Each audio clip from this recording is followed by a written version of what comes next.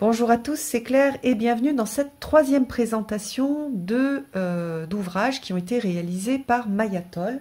Alors, je vous ai déjà présenté le bestiaire du chaman, je vous ai présenté l'herbier du chaman, donc ici pour travailler avec l'énergie des animaux, ici avec l'énergie des plantes, et sur exactement le même modèle, on a euh, les cristaux du chaman, avec 36 cristaux qui vont nous permettre donc de travailler avec des énergies de, cristaux, vous allez voir, assez euh, connus. Donc c'est, on va avoir cette proposition de, travail.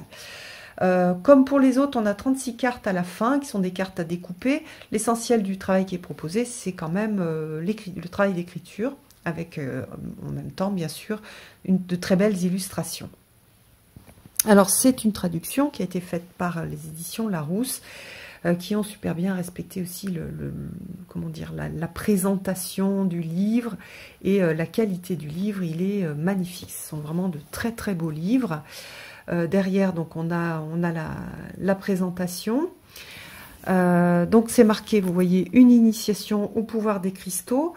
je pense que c'est un livre qui va être super bien pour les débutants parce qu'il n'y a pas trop de cristaux, il y a juste les informations nécessaires c'est très bien présenté et euh, il y a à chaque fois, euh, comme pour les autres, un rituel et une, comme pour les autres livres, un rituel et une réflexion. Donc ça permet d'avoir des informations pratiques euh, et de pouvoir utiliser tout de suite les cristaux. Parce que c'est vrai que quand on ne connaît pas les cristaux, on va par exemple soit tirer une carte, soit on a un cristal dont on se sent proche, par exemple un quartz et euh, on va pas trop savoir quoi faire avec. Et donc là, avec euh, les propositions de rituel ou de réflexion, on va pouvoir soit faire un rituel, donc faire quelque chose, ou une réflexion, et donc faire du travail de journaling, donc d'écriture dans un journal, de, oui, de réflexion sur soi, qui correspond à ce que l'on appelle le shadow work ou le travail euh, ou un travail de l'ombre, en fait, d'exploration de, de parties secrètes en soi ou de parties qu'on n'a pas l'habitude de, contacter. Et donc euh, voilà à travers des, réponses enfin des réponses à des questions qui sont un petit peu euh, on va dire provocantes et qui permettent d'aller chercher en soi euh, et de voilà des, questions un petit peu originales qu'on n'a pas l'habitude de, se poser. Alors la structure est exactement que, la même que les autres. Donc on a page de présentation des des choses de jolies choses, de dédicaces qui est sympa, des voilà. Puis après on a le, on a le sommaire bien sûr, avec donc quand même même chose que pour les autres, une préface et une introduction qui sont super intéressantes, qui sont pas longues.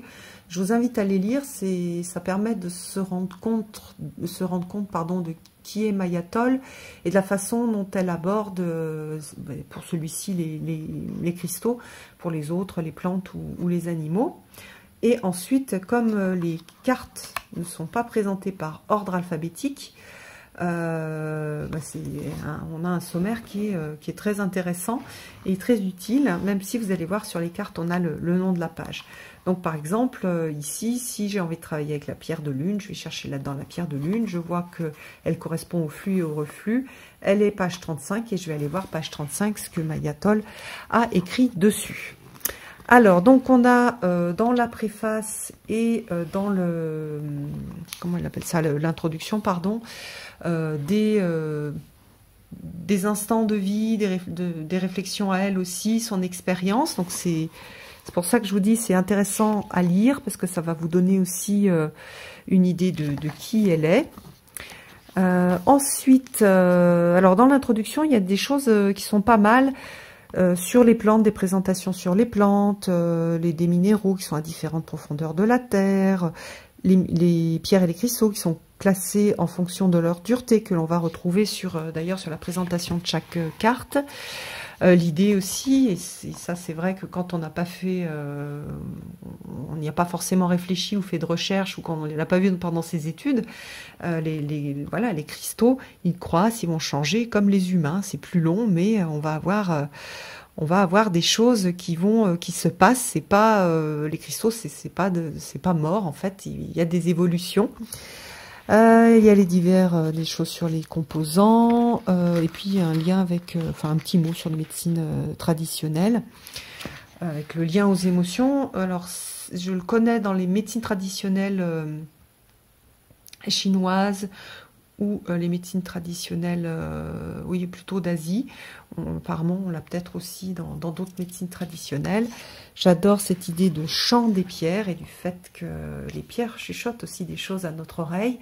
Ça, c'est très intéressant de le voir aussi sous cet angle-là. Comment utiliser le livre?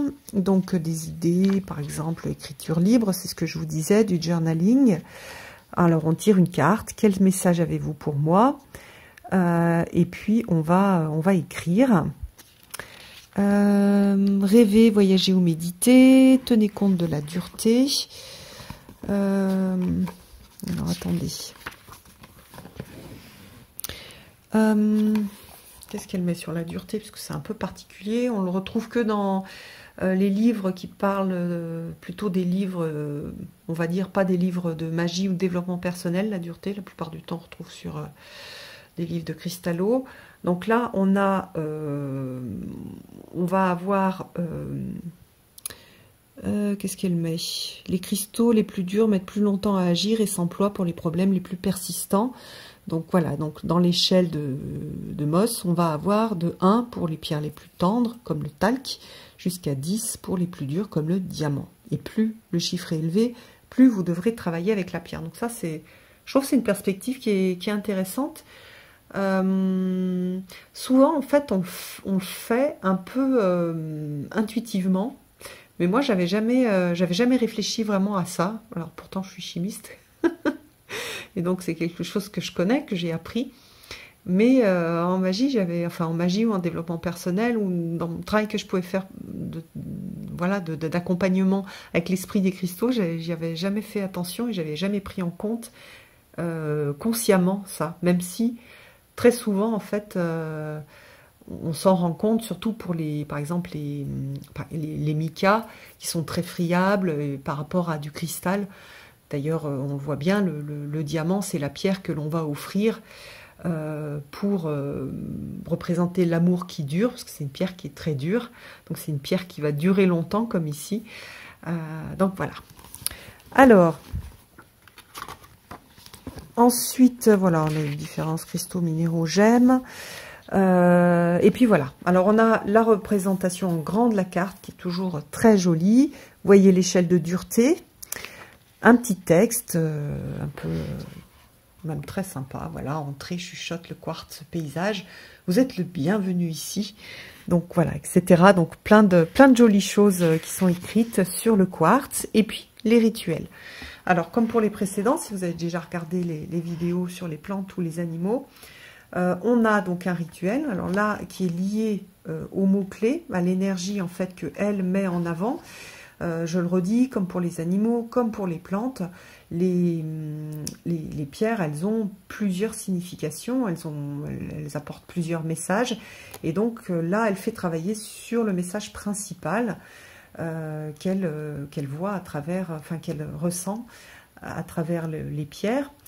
Euh, mais bien sûr, si vous avez d'autres livres, vous avez peut-être d'autres messages. Donc ne soyez pas déstabilisés.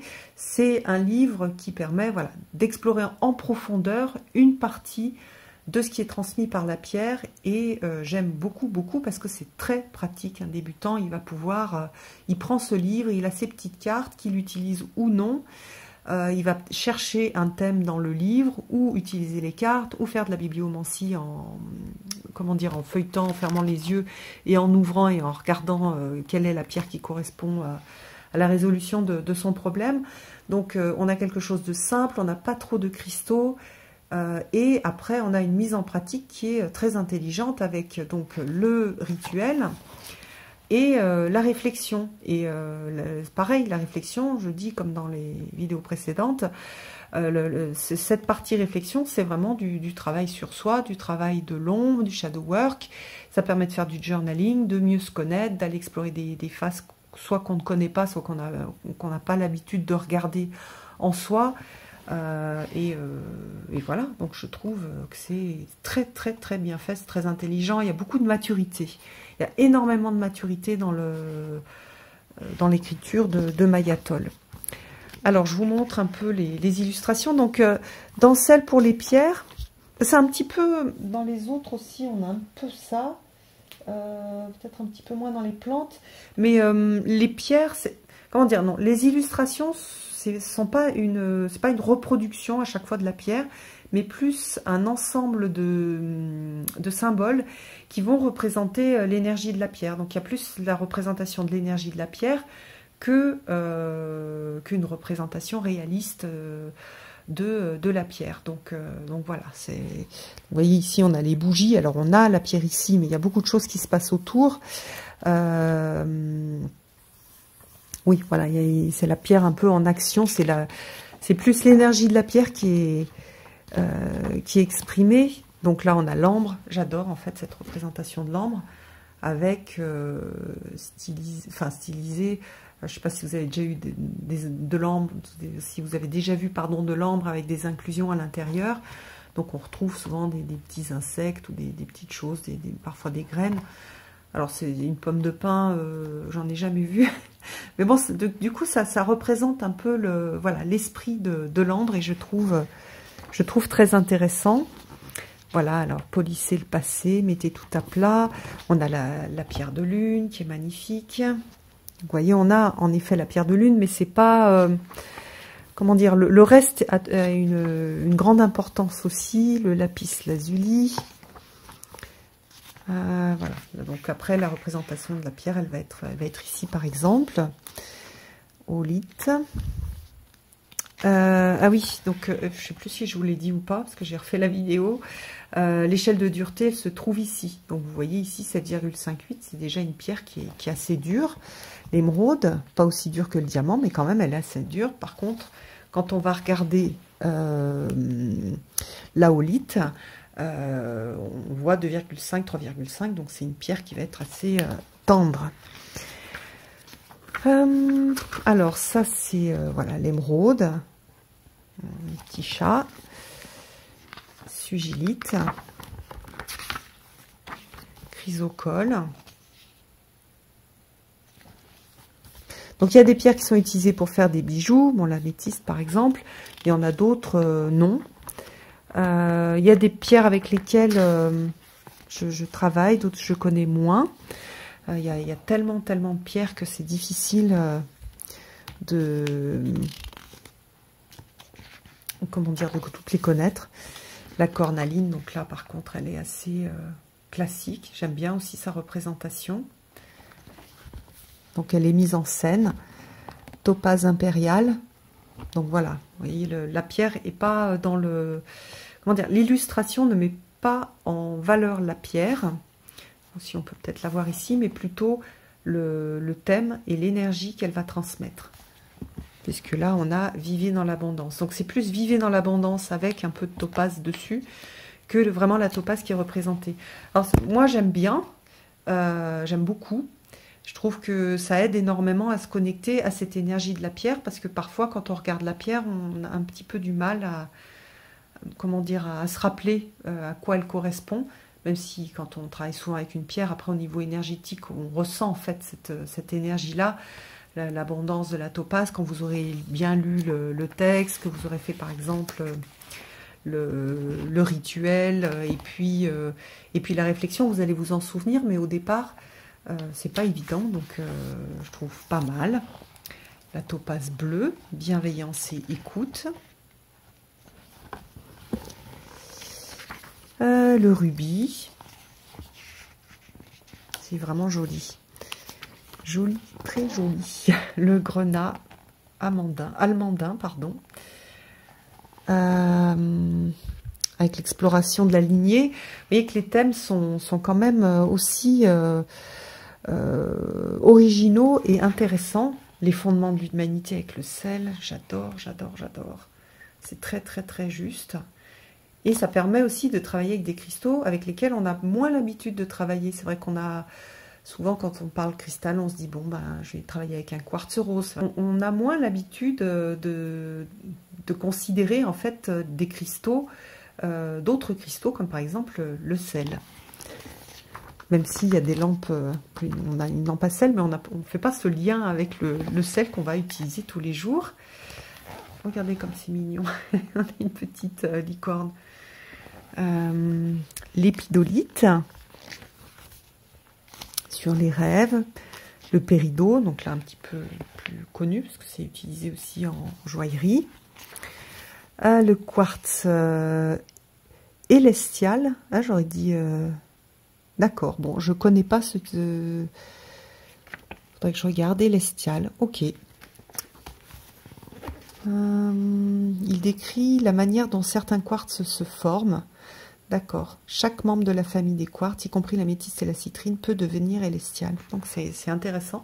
Ça correspond aussi à une, structure et la formation de, la pierre. Donc ensuite on a la sélénite, le centre sacré, la citrine, le plein de, richesses on va regarder pour celle-ci euh, le, rituel, comme ça, ça va vous donner euh, une idée du type de rituel.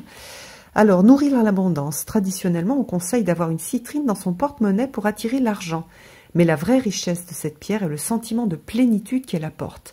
La gratitude est le meilleur moyen pour nourrir l'abondance. Pratiquer la gratitude augmente la production de dopamine, ce qui accroît le niveau de bonheur. De plus, cette hormone du plaisir stimule la zone d'acquisition des connaissances dans le cerveau. Donc plus de bonheur égale plus d'intelligence. Donc dans la journée, quand vous vous arrêtez à un carrefour ou un feu rouge, profitez de la pause pour réfléchir à ce qui a pu susciter votre gratitude dans les minutes précédentes. Voilà, très, euh, voilà, c'est, je trouve, c'est tout simple et euh, c'est euh, très puissant aussi.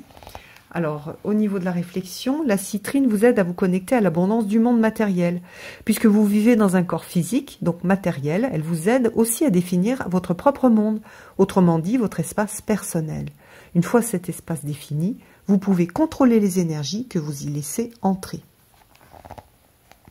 Alors, ouvrez euh, vous la porte au don de la citrine, ou repoussez-vous les richesses, la joie et la plénitude qu'elle peut apporter.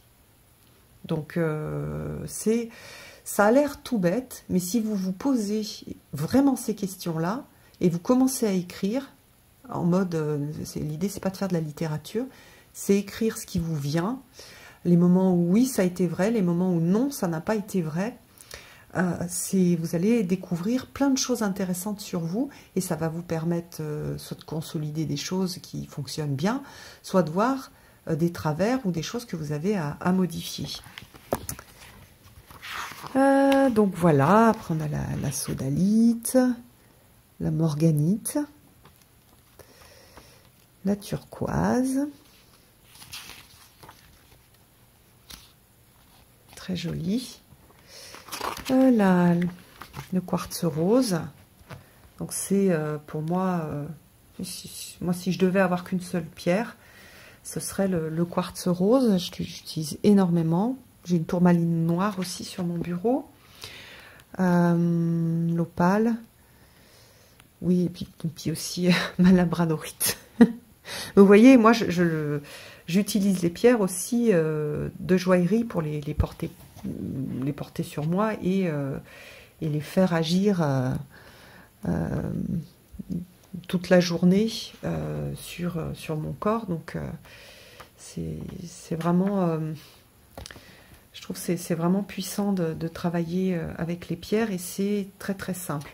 Donc à la fin, on a comment travailler avec les cartes, tirage à une carte, un tirage croisement et puis euh, trois cartes avec euh, approfondissement. Voilà.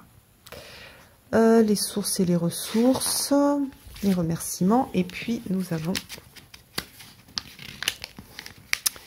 Oups.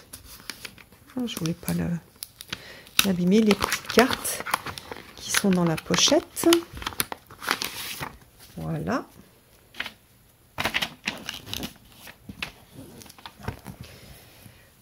Que l'on peut découper. Et je vais vous montrer en même temps que je découpe. Donc on a topaz bleu, le quartz, super joli. On va laisser euh, un fond euh, neutre, euh, la pierre de lune, chrysocole,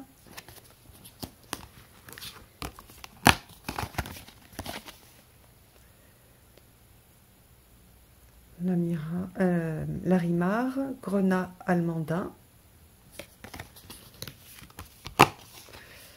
Améthyste et Cornaline,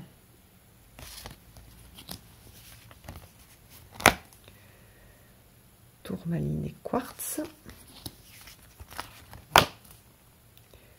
Fluorite, Topaz,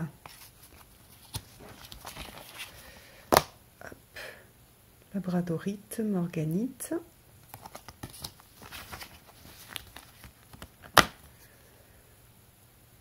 Le sel, rhodonite.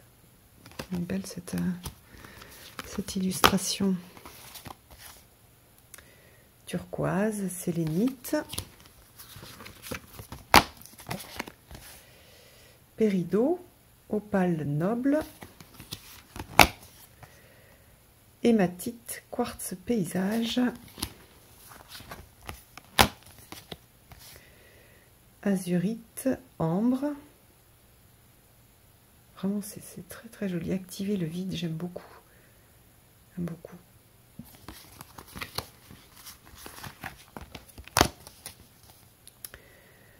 Amolite, quartz, euh, le quartz, fameux quartz euh, élestial.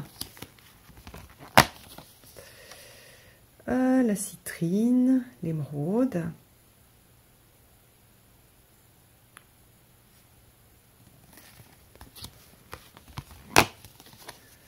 Ah, joli. L'épidolite. Sympa d'avoir mis une licorne. Lapis lazuli, obsidienne, avec les pour trancher dans le vif avec les ciseaux. Donc vous voyez, on a énormément de, symboles sur les représentations qui vont aider à, en fait, à, à, retenir et, euh, et à s'inspirer en fait de, l'énergie du, cristal. Donc voilà, alors donc ce sont euh, des cartes avec une taille, euh, on va dire, de cartes à jouer. Les, bords ne sont pas réguliers puisqu'il y a les, petits picots qui, ont servi à attacher les cartes les unes aux autres. Euh, les cartes sont assez souples, donc ça permet de bien les mélanger. Et donc, je vais vous montrer, on peut aussi, euh, si on a euh, un, deux ou trois jeux, enfin non, si on a deux ou trois jeux, on peut les, réunir. Les dos sont différents, donc quand on les mélange, on va voir, il faudra fermer les yeux pour choisir la carte mais euh, ça permet d'avoir un tas raisonnable pour euh, tout utiliser. Donc ça, c'est bien, sachant que ça fait 3 euh, fois 36 cartes. c'est, je trouve, voilà, un atout. C'est l'avantage de l'inconvénient de ne pas avoir des cartes, on va dire, classiques de, cartomancie. on peut voilà, on peut toutes les réunir et on a un paquet assez raisonnable qu'on va pouvoir utiliser. Alors que sinon, si on prend des, des vraies cartes de cartomancie plus grandes, donc plus épaisses pour pouvoir avoir une meilleure tenue, on va avoir un, tas qui va être trop gros et qui va être difficile à, utiliser. Donc voilà, en résumé, euh, j'aime beaucoup le, travail de Mayaltol. Je trouve que c'est intelligent et ça va permettre de, faire du travail euh, en profondeur tout en étant simple. Donc euh, voilà, J'espère que ça vous a plu. Dites-moi ce que vous en pensez sous la vidéo et puis je vous embrasse tous. À bientôt